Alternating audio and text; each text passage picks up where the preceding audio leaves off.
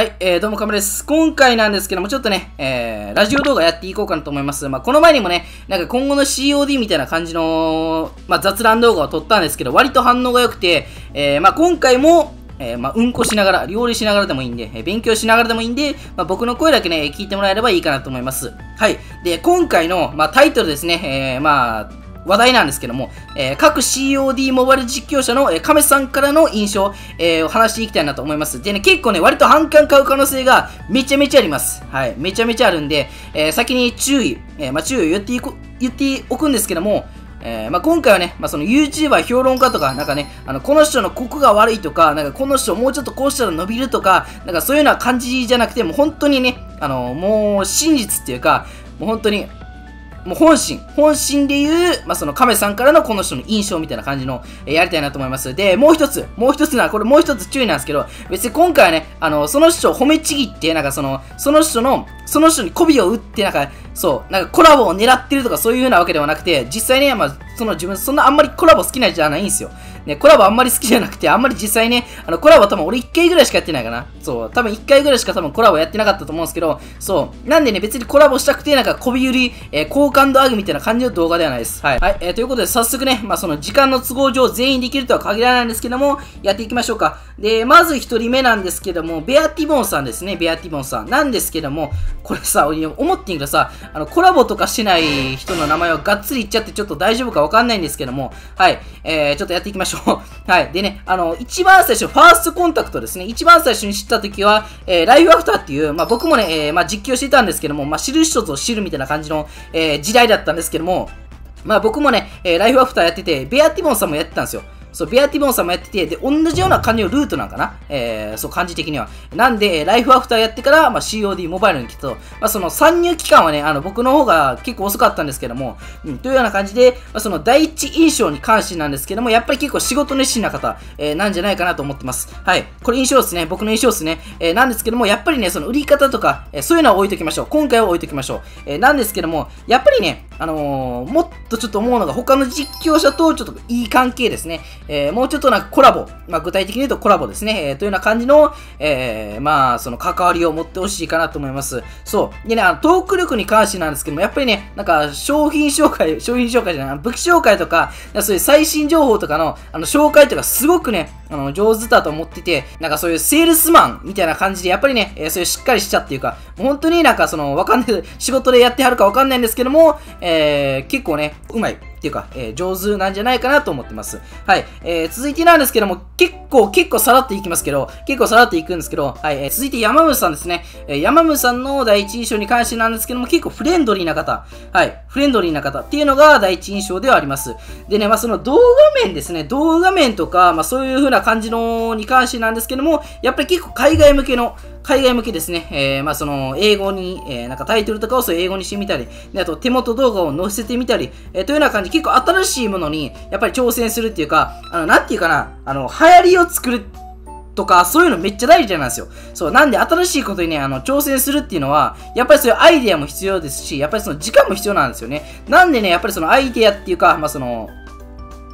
やっぱりその新しいことに挑戦したりとかっていうのは、やっぱりね、えー、自分すごいと、えー、すごいかなと思います。はい、えー、続いてですね、田中90さんですね。田中90さんに関してなんですけども、あの、第一印象っていうか、その一番初めにね、知ったのが確か2、3年ぐらい前なんですよね。えー、2、3年ぐらい前の、えー、くんさんの動画で、えー、まあその田中さんのチャンネルではないんですけども、えー、くんさんの動画で、えー、初めて知って、でね、あの、一番最初に思ったのが、この人のトーク力やばくねみたいな感じで、なんかね、あの、喋ってるだけで面白いんですよね。いつ、いつ喋っても面白いんですよ。そう、あの、もう、なん、なんていうか、その、移動時間、敵を探してる時間も、敵と戦ってる時も面白いし、あの、その、なんていうか、ね、結構暴言、はい、暴言とかね、あの、結構面白いって言われるんですけど、あの、俺がさ、暴言入っても全く面白くないんですよ。面白くないですけど、やっぱり田中さんの暴言っていうのは、なかなりね、えー、なんか面白いっていう方も多いですし、やっぱりね、突出したトーク力とか、まあ、語彙力っていうのがね、えー、もう本当に真似したくても真似できないです。はい。これ多分俺がね、あのー、もしね、もし登録者50万人とか100万人に行っても、あのゲーム中に、もう出るね、言葉の選びとかチョイスとかっていうのは無理です。あのね、割とね、そのなんか視聴者で、こいつトーク力トーク下手くそじゃねえとか言うんですけど、あ実況者になってみれば、さらに凄さがわかります。さらにね。多分今でもね、あの結構上手いと思ってる方いると、もう大勢の人がね、上手いと思ってる方いると思うんですけど、あのね、ゲームしながらあんだけ上手く喋れるっていうのは、間違いなくもうセンスも必要だと思ってます。うん、やっぱりね、そういう、まあその才能とかそういう風な感じのも、えー、かなり大事かなと思ってて、やっぱりゲーム実況者の中でも、なんていうかな、トップクラスっていうかトップレベルのね、喋りの上手さなんですよ。やっぱりそのゲーム実況者ってね、あのー、なんていうかかな、1番にトーク、1番にトーク力。で、まあその2番目、3番目に、えー、まあプレイのうまさっていうのが、まあ重要度として僕の中ではあるんですよ。なんですけども、あのトーク力っていうのは、本当にね、あの、欲しくても手に入れれない、えー、というような感じで、でね、まあ、これもね、ちょっと僕の印象っすよ。これ、これも、こっから僕のまんま僕の印象なんですけど、やっぱり動画とかでね、えー、なんかパッと叩き合ったりね、えー、まあ、というような感じの、えー、まあ、イメージ、まあ、田中さんのイメージがあると思うんですけど、実際の、あの、普段のね、普段の田中さんこうなんだろうなっていう僕の印象っていうのは、結構割と穏やかなイメージっていうか、結構争い事とか、そう騒ぎとか嫌いなんじゃないかなと思ってます。これ俺のイメージね。これ実際と異なる場合もあるから、あくまで亀さんっていう実況者の、えー、田中さんへのイメージだと思っていてください。はい。なんかね、あの、平和を求む人っていうか、そう、多分ね、あのー結構争い事っていうかね、多分攻めた、やっぱりそういう騒ぎが起こっても、えー、多分そういう、なんていうか騒ぎに参加したりというような感じのが、えー、多分全くないんじゃないかなと思ってます。多分ね、あのー、結構さ、割と田中さんの実写の、あのー、画像があるんですけども、あれまんま俺に似てて、あれにね、田中さんのあの実写の写真にメガネかけたらまんま俺なんですよね。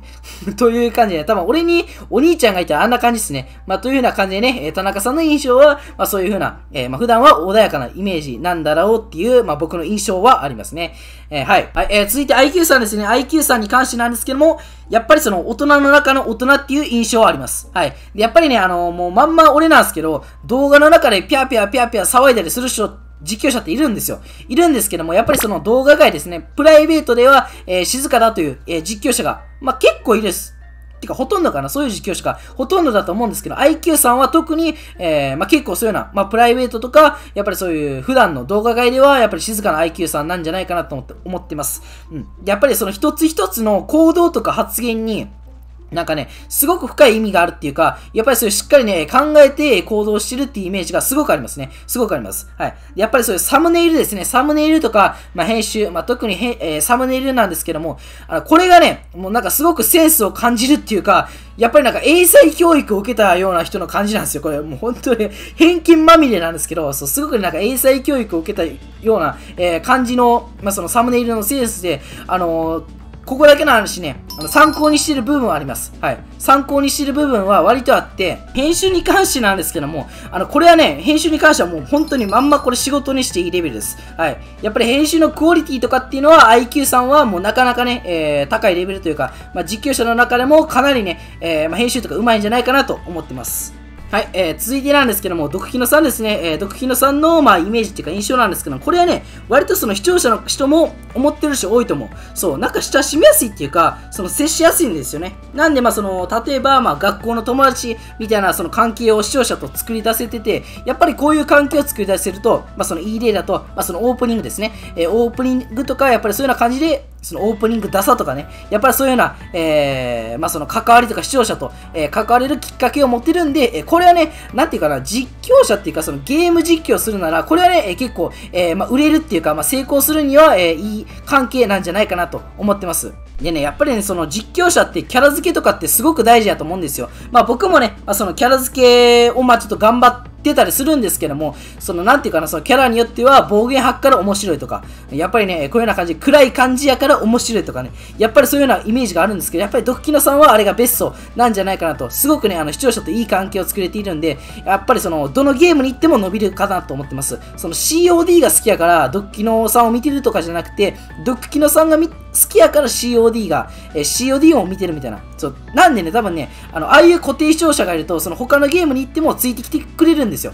ああいう視聴者って。そう。COD が好きやからとかじゃなくて、あの実況者が好きやから、えー、見てるみたいな。というような感じで、やっぱりそういう、えー、まあその、実況者からすると、本当にああいう関係は視聴者と、やっぱり作り出したいんじゃないかなと思ってます。はい、えー、ということで、続いてなんですけど、チンプロさんですね。えー、チンプロさんに関してなんですけども、やっぱりね、その、結構ね、あの配信とか生放送とかでは、なんか、このゲーム嫌いとかさ、ね、このゲームラグすぎて嫌いとか言ってるんですけど、多分ね、実はね、あのー、このゲームを多分一番愛してるのは、えー、チンプロさんなんじゃないかなと思ってます。はい。でね、これなんでかっていうと、その S1 からっていうか、その、なんていうかな、ベータ版からやってる実況者ってほぼほぼいないと思うんですよ。なんですけど、やっぱりね、あのあの人は、あの、本当にベータ版からやってて、やっぱりそのシーズン1ってね、やっぱりそのめちゃめちゃ上手い人が多かったんですよ。めちゃめちゃ上手い人が多かったっていうか、やっぱりね、あの、今、界隈トップって言われてる人でも、その、なんていうかな、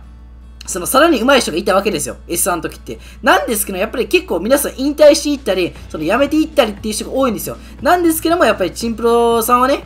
やっぱり今まで、えー、もうずっと S1 からね、ひたすらもうベータ版の時から ずっとやってて、多分一番やり込んでる人ってあの人ですよね。そう。なんでね、やっぱりその、一番やり込んでるし、えー、結局ね、ラグイラグイ、もうやめたやめたいとか言っても結局やってるんですよ。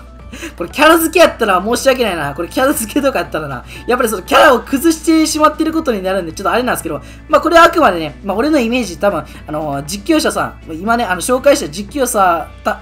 まあやっぱりね、まあ当然なんですけど、やっぱり実況者ごとにね、まあその、この人はちょっと辛かったり、この人はちょっと甘かったり、みたいなね、えー、ちょっとしょっぱかったり、えー、みたいな感じがあるんでね、やっぱりそういうような感じのも、えー、楽しんでいってもらえるといいかなと思ってます。やっぱりその実況者ごとにいろんなね、特徴とかありますんで、そういうこともやっぱりね、視聴者の皆さんでも、えー、ちょっとなんか、ちょっと考えたり、えー、すれば、もっとね、えー、COD モバイルの、えー、配信者っていうか、やっぱりそういう実況者とかは楽しめるんじゃないかなと思ってます。それはね、え今回これで、えラジオ動画終わりたいなと思います。まあ、そのもっとね、やってほしければ、まあ、そのチャンネル登録とか、え高評価ぜひぜひ、えコメントの方もよろしくお願いします。ということでね、今回これで終わりたいと思います。ぜひぜひ、チャンネル登録と高評価よろしくお願いします。それでは、